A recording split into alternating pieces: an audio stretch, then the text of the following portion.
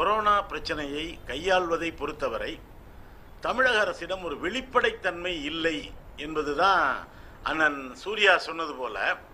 இது ஏதோ தங்களுடைய கௌரவ பிரச்சனையாக இவர்கள் கருதுகிறார்கள்.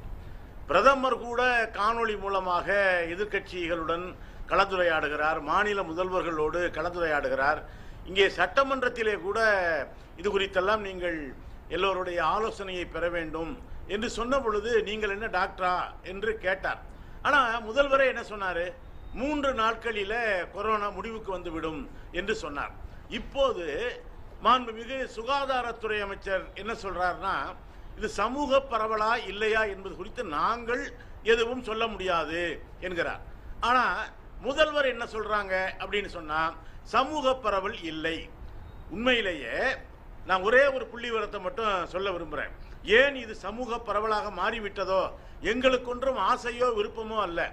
சமூக பரவலாக இது மாறிவிடக் கூடாது என்பதுதான் எங்களை போன்ற எதிர்க்கட்சிகளுடைய கவலை அக்கறை. ஆனால் உண்மையினுடைய தீவிரத்தை நம்முடைய மாநில அரசு உணர்ந்து அதற்கேற்ப செயல்பட மறுக்கிறதோ என்பதுதான் எங்களுக்கு இருக்கிற கவலை. உதாரணமாக தமிழகத்தில் முதல் ஐந்தாயிரம் கொரோனா தொற்று ஏற்படுவதற்கு அறுபத்தி ஏழு நாட்கள் ஆனது இரண்டாவது ஐந்தாயிரம் தொற்று ஏற்படுவதற்கு எட்டு நாட்கள் ஆனது மூன்றாவது ஐந்தாயிரத்திற்கு எட்டு நாட்கள் ஆனது நான்காவது ஐந்தாயிரத்துக்கு ஆறு நாட்கள் ஆனது அடுத்த ஐந்தாயிரத்துக்கு ஐந்து நாள் போதுமானதாக இருந்தது. அடுத்த ஐந்தாயிரம் மூணு நாட்களுக்குள்ளே தமிழ்நாட்டிலே தொற்று ஏற்பட்டது. இதை வேற மாதிரி சொல்றதா இருந்தா முதல் பத்தாயிரம் பேருக்கு தொற்று ஏற்பட எழுபத்தஞ்சு நாள் இரண்டாவது பத்தாயிரம் பேருக்கு தொற்று ஏற்பட பதினாலாவது நாள் மூன்றாவது பத்தாயிரம் பேருக்கு எட்டு நாட்களிலேயே தொற்று பரவிவிட்டது என்பது வெளிவந்திருக்கிற ஒரு புள்ளி விவரம். புள்ளி விவரம் கூட இல்லை. நீங்க சென்னையில் கூட மரணத்தின் எண்ணிக்கையை இவர்கள் குறைத்து காட்ட முயல்கிறார்களோ என்கிற ஐயப்பாடு எல்லாருக்கும் எடுகிறது கிட்டத்தட்ட சென்னையிலே மட்டும் ஐநூத்தி தொண்ணூத்தி பேர் இறந்திருக்கலாம் என்று மாநகராட்சியினுடைய பதிவேடுகளின்படி சில ஊடகங்கள் வெளியே கொண்டு வந்திருக்கிறார்கள். ஆனால் நம்முடைய முதல்வரும் சரி பேசிய அதிமுகவின் சார்பாக பேசிய சகோதரியும் சரி நீங்கள் சமூக தொற்றுனா நம்மெல்லாம் பேசிக்கிட்டு தானே இருக்கோம். உயிரோட தானே இருக்குன்னு கேட்குறது வந்து எப்படி இருக்குன்னா இதே சென்னையில் கொரோனா நிவாரண பணியில் ஈடுபட்டதால் திராவிட முன்னேற்ற கழகத்தினுடைய சட்டமன்ற உறுப்பினர் மரியாதைக்குரிய அண்ணன் அன்பழகன் நம்மை விட்டு மறைந்திருக்கிறார். இவர் திமுக தலைவர் சொல்லியிருப்பது போல ஒரு ராணுவ வீரருக்கு நிகரான தியாகம். ஆனால் அதிமுகவினுடைய செய்தி தொடர்பாக என்ன சொல்கிறாரு ஒருங்கிணைவும் வா என்கிற கோமாளித்தனத்தின் காரணமாக ஒரு எம்எல்ஏவை இறந்து போயிட்டாங்க இழந்துட்டாங்க. இது பரிதாபத்துக்குரிய மரணம். இந்த ஆளுங்கட்சி முதலில் தன்னுடைய அணுகுமுறையை மாற்றிக்கொள்ள வேண்டும் என்பதுதான். இன்னைக்கு வந்து பாத்தீங்கன்னா இந்த மதுரை மட்டும் சென்னை மட்டும் இல்ல மதுரையில வந்து பல துவக்க நிலையில பல வகையான சொன்னாங்க. நான் மதுக்கூர் ராமன் கிட்ட ஒரு கேள்வி முன்வைக்கிறேன். என்னன்னா. இது சமூக பரவல் போறோம் இப்ப தமிழக அரசு அறிவிக்கணும். எவ்வளவு சோதனை பண்ணிருக்கீங்க? நீங்க நல்லா கவனிச்சீங்கன்னா கர்ப்பிணி பெண்களுக்கு கொரோனா தொற்று அதிகமாக கண்டறிய ஏன் தெரியுமா? அவங்க போகிற பொழுது பரிசோதனைக்கு உட்படுத்தப்படுகிறார்கள்.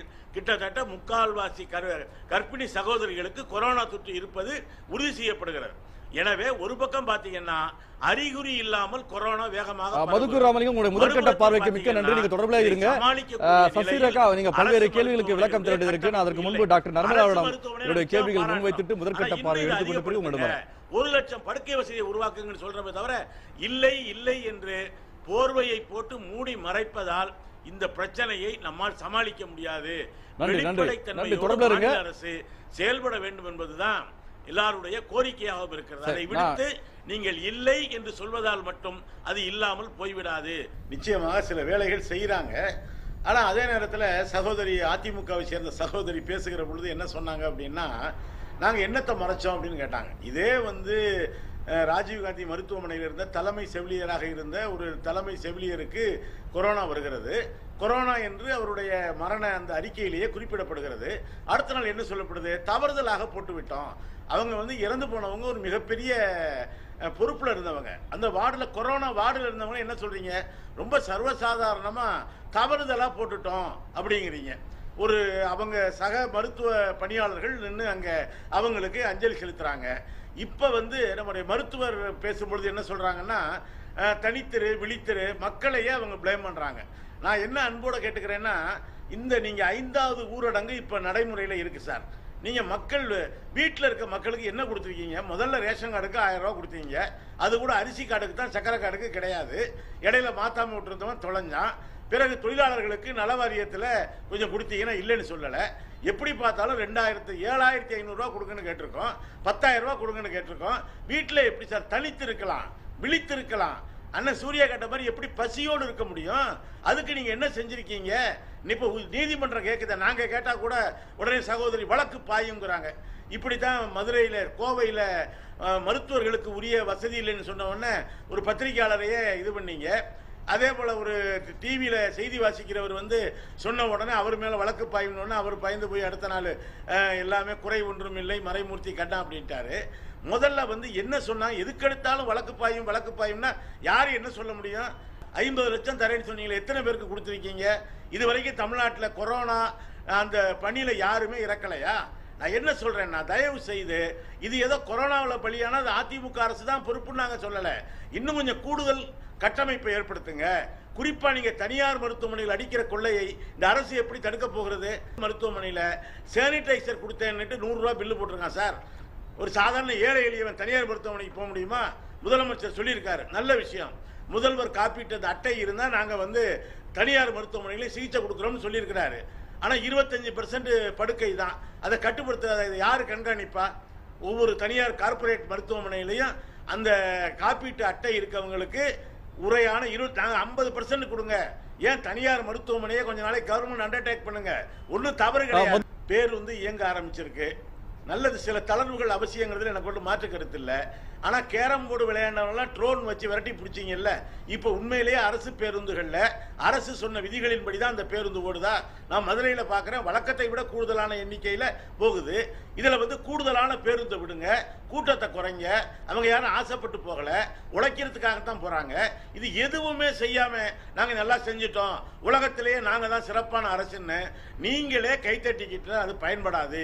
நிலைமையினுடைய விபரீதத்தை தயவு செய்து புரிந்து கொள்ளுங்கள். அதே போல இவங்களை பொறுத்த வரைக்கும் இந்த வழக்கு பாயும் என்கிற மிரட்டல் மூலமாக மட்டுமே நீங்கள் அதிருப்தியை அடக்கிவிட முடியாதுங்கிறத நான் தாழ்மையோடு சொல்றேன். தமிழக அரசு அல்லது தமிழக சுகாதார கட்டமைப்பினுடைய அந்த பலத்தை நம்ம குறைத்து மதிப்பிடவே இல்லை. இந்த அளவுக்கு நோயாளிகள் பாதுகாக்கப்பட்டிருக்காங்கன்னா தமிழ்நாட்டில் நீண்ட காலமாக ஒரு பொது சுகாதார கட்டமைப்பை நாம் பாதுகாத்து வைப்பது மிகப்பெரிய பலம் என்பதில் யாருக்கும் மாற்று கருத்து இல்லை. இன்றைக்கு அரசு மருத்துவர்கள் மருத்துவ பணியாளர்கள் தூய்மை பணியாளர்கள் எல்லோரும் மிகச்சிறந்த பணியாற்றுகிறார்கள். நம்ம எங்கே பிரச்சனை வருது? இந்த நிலைமையின் குறிப்பாக தலைநகர் சென்னையினுடைய அந்த தீவிரத்தை தயவு செய்து புரிந்து கொள்ளுங்கள். நீங்க வந்து நம்ம வந்து எதிர்பார்ப்பதை விட வேகமாக இந்த நோய் பரவி கொண்டிருக்கிறது. இப்போ மும்பையும் சென்னையும் அதே போல இன்னைக்கு டெல்லியும் சொல்றாங்க. இதுல வந்து நாங்கள் ஒண்ணுமே இல்லை சரி பண்ணிட்டோம்னு சொல்வதை விட தயவு செய்து இது சமூக தொற்று இல்லைன்னு சாதிக்கிறதுனால எதுவும் ஆக சமூக தொற்று ஆகணும்னு நாங்கள் ஆசைப்படுறோமா என்ன? பாதிக்க யார் பாதிக்கப்பட்டாலும் நம்முடைய மக்கள் பாதிக்கப்பட இருக்கிறாங்க. எனவே நீங்க வந்து சோதனைகளை அதிகப்படுத்துங்க படுக்கை வசதி அதிகப்படுத்துங்க வெண்டிலேட்டரை அதிகப்படுத்துங்க என்று தான் சொல்கிறோமே தவிர இப்போது இருப்பது போதுமானதல்ல. தனியார் மருத்துவமனைகளை இன்னும் கொஞ்சம் கூடுதலாக நீங்கள் பயன்படுத்துங்கன்னு சொல்கிறோமே தவிர அதை விடுத்துட்டு இல்லை இல்லை எல்லாம் சரியாக தான் இருக்குது நாங்கள் நூறு சதவீதம் இப்ப டென்த்ல ஆல் பாஸ்ன்னு சொன்ன மாதிரி இந்த கொரோனா பரீட்சையில் அதிமுக பாஸ்ன்னு சொல்லிக்கிறதுல எந்த லாபமும் இல்லை. எனவே தயவு செய்து சென்னையை ஒட்டி இருக்கிற மாவட்டங்கள்ல மக்களுக்கு உரிய நிவாரணம் கொடுத்து உரிய முன்னேற்பாடுகளோடு அந்த லாக்டவுனை இன்னும் கொஞ்சம் தீவிரமாக்குங்க. எல்லா தமிழ்நாடு முழுவதும் மருத்துவ கட்டமைப்பை குறிப்பாக அரசு மருத்துவமனைகள்ல படுக்கை இல்லை என்கிற நிலை டாக்டர் நர்மதா நான் முன்வைக்கிறேன். டாக்டர் நர்மதா. நோயாளிகளுடைய அதுக்கு அரசாங்கம் மட்டுமே பொறுப்பு கிடையாது. அப்ப தயவு செய்து மதுக்கூர் மிக்க நன்றி, மிக்க நன்றி. நேரம் குறைவாக இருக்கின்றது. டாக்டர் நர்மதா. அவர்களை எந்த வகையிலும் கட்டண கொள்ளையை நீங்கள் அனுமதிக்காதீர்கள் என்னுடைய பா- தாழ்மையான